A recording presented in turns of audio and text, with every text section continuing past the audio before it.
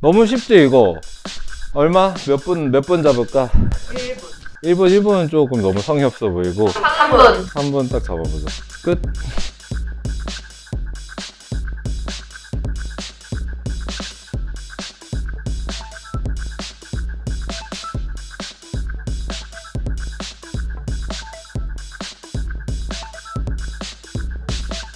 너무 쉽지 이거 너무 가벼워서. 그치 그거 하나만 이제 제약적이고 얼마? 몇 분 몇 분 잡을까? 1분. 1분 1분은 조금 너무 성의 없어 보이고 3분. 3분 딱 잡아보자.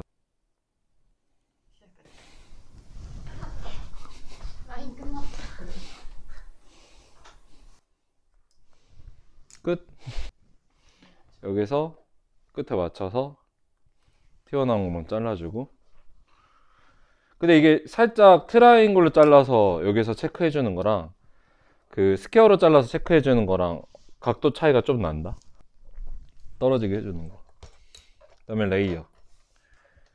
라운드 레이어지. horseshoe 위쪽의 머리만 이렇게 라운드로 잡아요 이렇게. 너 요새 유튜브 대박 났잖아. 조회수 뷰가 미쳤어 지금. 약간 곡, 약간 비트코인 약간 지금 상승세 탄 그런 느낌. 자 두상 따라서 라운드면 여기 잡아서 끌어올렸을 때 이렇게 그냥 잘라주면 돼요. 여기가 짧고 뒤에가 길어지게. pivoting 뭐 이런 거 할 필요 있어요 없어요? 없지 우린 parting이 없잖아. 이렇게. 그럼 떨어질 때 이렇게 떨어진단 말이에요. 그냥 너무 쉽지 이런 이런 커트는 사실 베이스 커트 3분 이상 자르면 진짜 바보예요. 오히려 스타일링이나 질감에 좀 집중해 줘야 되는 그런 느낌이거든. 여기 잡았잖아. 들어 올리기 전에 가이드 될 만한 섹션 여기서 좀 갖고 오고 그대로 들어 올려서 가이드 확인하고 들어 올려서 가이드 여기 있지? 가이드대로 커트 해주면 여기도 떨어졌을 때 이런 식으로 트라이앵글 느낌으로 떨어진단 말이야. 뒤로 넘어가면 라운드가 되고. 잡고. 자 길이는 쇄골 정도로.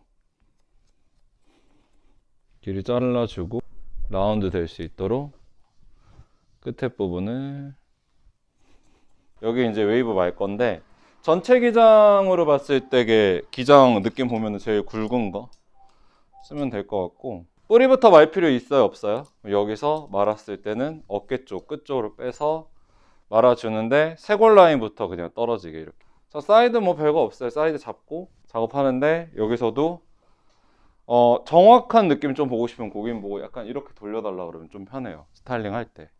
앞쪽으로 떨어뜨리는 느낌 좀 보고 싶어서. 이번에도 여기 느낌 같은 경우는 쇄골 느낌에서 조금 더 위로 올라가게만 잡아주면 될 것 같거든요. 여기서도 아이롱 엄지 위로 올라간 상태로 어깨 쪽으로 끝 빼주는데 약간 사선 밑방향으로 내려오게 말아주면 컬을 말았을 때 컬이 이렇게 루즈하게 자연스럽게 잡힌단 말이에요. 이렇게 잡아서 잡아주면 되고 자 사이드 사이드도 제가 봤을 때는 자연스러운 컬이라서 똑같이 쇄골 정도의 컬이 쌓일 수 있게. 잡아서 그냥 기본 아이롱으로 말아주면 돼요. 여기까지 뭐 별게 없어요. 기본 아이롱을 말아주면 되고. 자 떨어뜨렸을 때 얘가 머리가 약간 뒤로 이렇게 흘러갈 거란 말이야. 그러면 얼굴 정면에 있는 상태에서 보면 떨어졌을 때 이렇게 쇄골 쪽에 컬감이 잡힐 수 있도록만 잡아주면 돼요. 피보팅 하는 느낌으로 잡아서 자 아이롱을 이렇게 넣어주는 게 좋을까? 이렇게 넣어주는 게 좋을까? 이렇게 넣어줘야지 그렇지 끝이 밑으로 떨어지게 좀 더 많이 세워서 잡아주고 늘 끝부분은 빼줄 때 어떻게? 어깨 쪽으로 빼주면 돼요 그냥 이거 다 incurved reverse거든요 잡고 여기서도 자 지금은 컬이 쇄골보다 레이어가 있으니까 쇄골보다 더 위로 올라와서 턱선 정도부터 컬이 들어갈 수 있도록 작업이 되고 있거든요. 이렇게 이런 식으로 뒤로 흐를 수 있도록 턱선 부분부터 작업해 주는데 여기서 포인트는 뒤에서 작업된 높이보다 사이드로 넘어갔을 때 컬이 들어가는 높이가 더 높아져야 돼요. 같은 위치에서 하는 게 아니라 사이드에서 살짝 더 높은 위치에서 컬감을 잡아줘야 돼요. 왜냐하면 라운드로 잘랐으니까 이쪽에 실질적으로 떨어지는 느낌에서는 이쪽이 좀 길어 보이지만 실질적으로 커트가 된 거 보면 위로 이렇게 올라가게 잘려 있는 거거든요. 두상 따라서 떨어지면 그러면 당연히 스타일링 할 때도 이쪽으로 진행될수록 위로 올라가면서 컬 말아주면 되고 잡아서 잡혔을 때 옆에서 보면 이런 식으로 위로 올라가게 잡아줘야 두상 따라서 넘겼을 때 이렇게 앞이 좀 오픈되는 느낌으로 떨어져요. 정면에서 봤을 때 여기 이것도 좀 더 높게 깊게 작업해서 좀 더 뿌리 쪽으로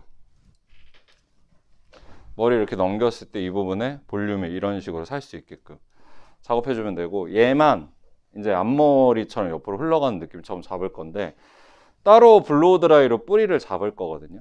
뿌리를 잡더라도 얘는 전체적으로 봤을 때 이렇게 약간 앞으로 떨어졌다 이렇게 넘어가는 느낌이잖아요. 그러면 얘는 아이롱을 이런 식으로 얼굴 앞에 front section에서 수평으로 잡아서 작업될 수 있도록 잡아줘야 돼요. 이때 끝방향은 무조건 이쪽으로. 포니테일 묶는 느낌처럼 두상 따라서 뒤로 이렇게 넘겨봐요. 자연스러운 느낌 유지하면서 뿌리는 인- 이제 질감 처리하고 뿌리는 잡을 거고 여기서는 넣어줄 때 잡고 위쪽으로 대준 상태에서 컬을 한 바퀴 말아줘요. 그럼 여기서도 아이롱의 각도는 어떻게 유지돼야 돼? 응? 밑으로 밑으로 사선 방향으로 이동해서 이런 식으로 잡. 자, 첫 번째 했으면 바로 레이어 들어갔던 쪽 빼주고 나머지 부분 작업하는데 여기서도 살짝 숙여달라고 얘기하거나 돌려달라고 얘기하면 좀 더 편할 수 있겠죠. 그러면 아까 잡았던 부분이 자 여기니까 이 부분 잡아주고 여기서는 버티컬처럼 이렇게 당겨주는 게 좋아요. 낮추지 말고 왜? 자연스럽게 두상 따라서 떨어지게 하고 싶어서 릿지 말아서 똑같이 한 바퀴 반 정도 말아주는 건 똑같고요. 그리고 다시 잡아줘. 아이롱 작업할 때 가장 하지 말아야 되는 게 섹션을 스타일링하고 아이롱 잡아서 이렇게 컬을 말았으면 손으로 잡아당기는 행위는 하면 안 돼요.